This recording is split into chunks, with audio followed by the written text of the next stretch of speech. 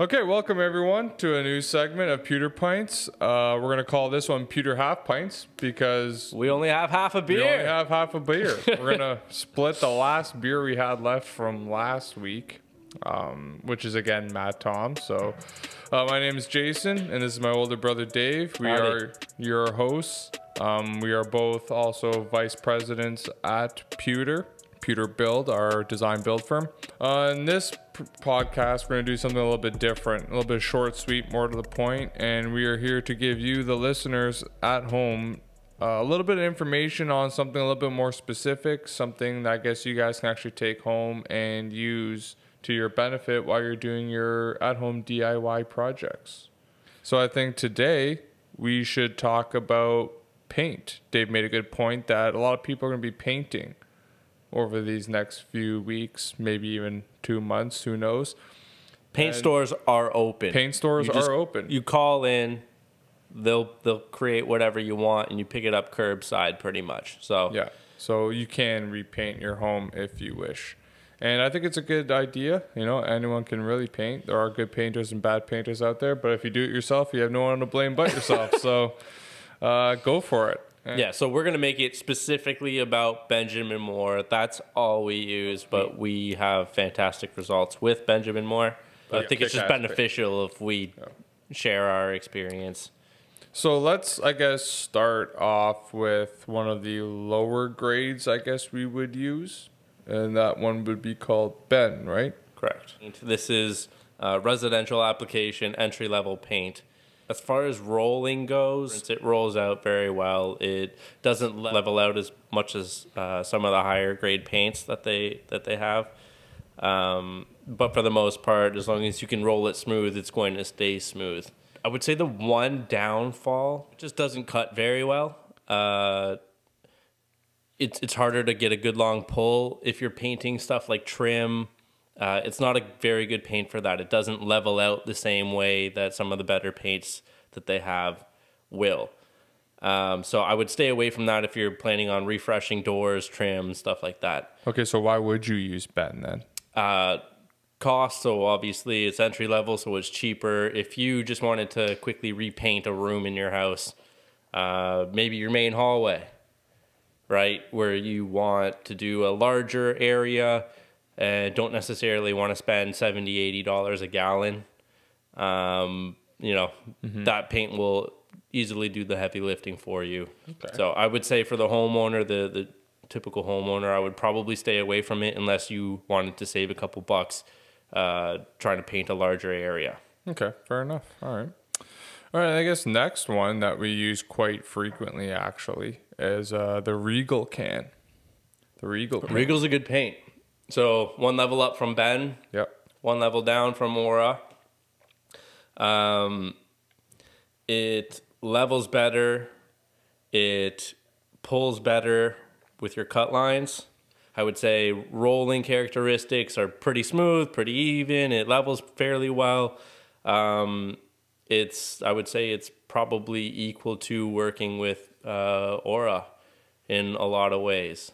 Interesting. It's a pretty solid paint. And that, um, oh, I should also specify Ben and uh, Regal, they don't have washable flats. Flat Okay, paint. so for people at home who don't really know what you're talking about, are just going to assume what you're talking about, what is a washable flat? Thank you. Uh, a washable flat paint is um, uh, a matte paint. You would touch it and it, you would leave your handprint on it, right? If you were to touch a ceiling, you would leave your the oils from your hand would stay on the ceiling, Right. And you you see it, and that's true even with today's paints. Uh, but the same was true with older generation paints and um, the Regal and the Ben. They don't have the same washable characteristics in their matte finishes as an aura. So the ideal for a paint is that it is as matte as possible so that it reflects the least amount of light so that it looks the best. So the more matte, the the better the look because it shows less imperfection, but the more matte it is, generally the less washable it is. And that all changes when we go up to aura and talk about aura. Okay, so yeah, you've referenced Aura twice now, three That's- times maybe. Probably my favorite paint. Definitely. This is the paint that we basically make standard on our projects and Yeah, so it looks great, but Dave, why why is Aura our paint of choice? Okay. It uses a completely different pigmentation process. Um, it holds a ridiculous amount of pigment. More pigment means that there's more color in the brush or in the roller as you're applying. So you're applying a, uh, a more opaque coat of paint. Meaning, you paint over it, there's so much pigment in there that the old color really doesn't blend through, doesn't bleed through.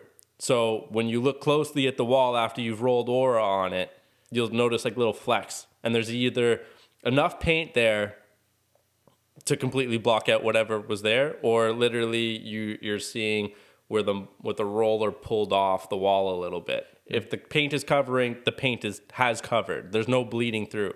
So that's why Aura is so good. It it levels really well, and on top of that, because there's so much pigment in it, its colors are almost prismatic. It looks beautiful. Like it, it has this different quality to it that other paints don't have. Yeah, it's like I don't want to say pastel, but like you know what I mean. Like it's like it's more. You can just tell it's thicker. It's richer. It's Yeah. know. Yeah, and it's a little thicker to work with initially. It's kind of hard to work with, but you just trust it. Just make sure that you get it as flat as you can. Yeah. And it levels beautifully. It's honestly the best paint that I've used on the market, hands down. Like you can get a Farrow and Ball uh can for like what $95 a can or something and the aura just kicks the shit out of it every time it's you it's go. like that's like chalky paint Yeah. i do not enjoy working with that the aura is just by far the best for painting walls Okay. Well, there's one more paint I want to add. Um, we I didn't write down the list, but um, I feel like you know you definitely should be using this paint, being that you're a father of three children under six years old.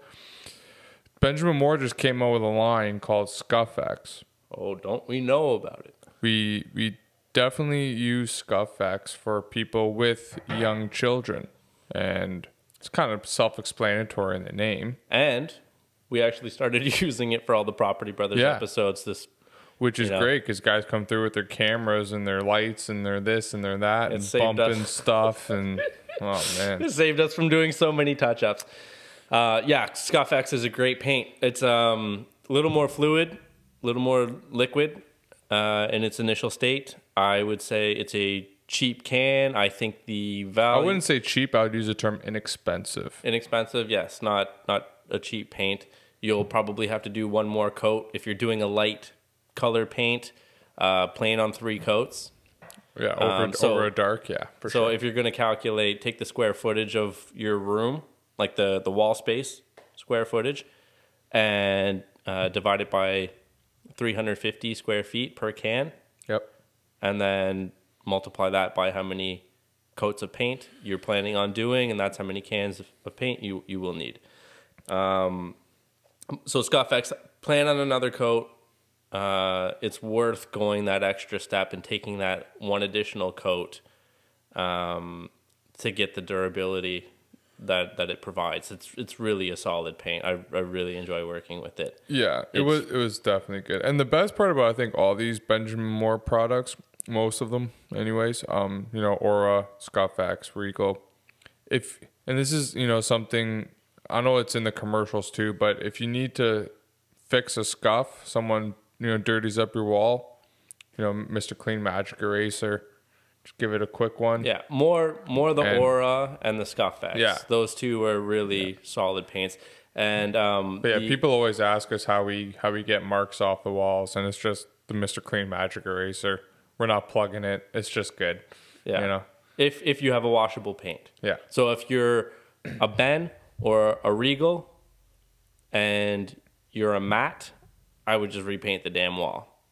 If you're a matte Aura or a ScuffX, you can use the magic eraser wherever you want. That said, if you're a um, eggshell or higher sheen Ben or Regal, you can also wash those. Those would be fine. Yeah. Okay. There's also one more paint that we should talk about, and that is if you plan on painting your trim yeah. and doors. Yeah. use Advance. Uh, the okay, yeah. It's an alkyd enamel paint. It is their replacement to an oil paint. So an oil Yeah. paint, you could get super smooth. You could sand in between coats and get your oil paint just beautiful. Yeah, it's a latex paint that, yeah, just it. It's an alkyd enamel. So Yeah, it's, it's, it's amazing. it, so the way they explain it to you is it's a mix between uh, a water-based paint and an oil base but it's alkyd enamel and it has the a lot of the characteristics of an oil-based paint um, it, it gets very hard you want to follow the instructions and make making sure that you're following the cure times on these things um, but you can really do a good job getting a solid coat of paint on on trim and doors and stuff like that Absolutely. you can even use it on furniture if you want it. So, I know we want to keep this short and sweet. Yeah. So I guess we'll just keep it at that because my Recommend- beer's empty anyway. So. Yeah, recommendations if you're planning on repainting, advance for your trim and and doors. I would highly recommend Aura for your walls because Aura covers like you wouldn't believe. Um, a lot of times, if you're doing light color to light color, you'll probably get away with one coat and you'd be more than happy with the results as long as you have a nice even coverage. But two coats, you're done for sure. Um, and if you if you want to save some money, I would probably recommend. Uh, if, I don't know if you're doing the big hallway, you could you could I would probably recommend ScuffX rather than the Ben or the Regal. Scuffx is also good for like party rooms, rec rooms, your basement. You know what I mean? Yeah, any any place that's high traffic, mud room, Yeah, great place to use ScuffX. Definitely. Um, but yeah, if you have little kids, just put that everywhere. Yeah, definitely. you got to stay busy somehow, some way. So hopefully this helps guide you guys when you're phoning in your orders to you know get some sort of paint lined up for from Benjamin Moore. Yeah, so just so everyone knows, we're gonna do this one. I think every Tuesday or something like that. Tuesday, Um, Wednesday, we'll drop these. Yeah, Tuesday. Wednesday, something like that. You know, we'll just give you a little bit of content, quick ten minutes about you know something that can help you out at your home. Um, picking Or- or- materials for your renovation. It's gonna be very specific, and uh, you know we'll try to make it as informative as possible, as always. Yeah.